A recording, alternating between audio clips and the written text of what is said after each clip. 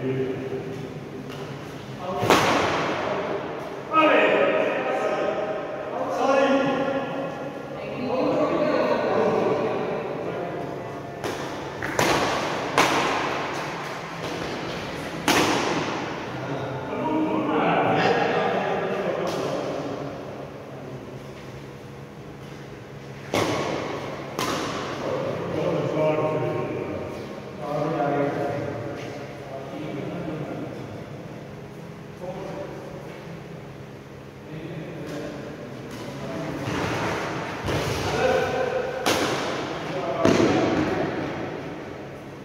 Amen.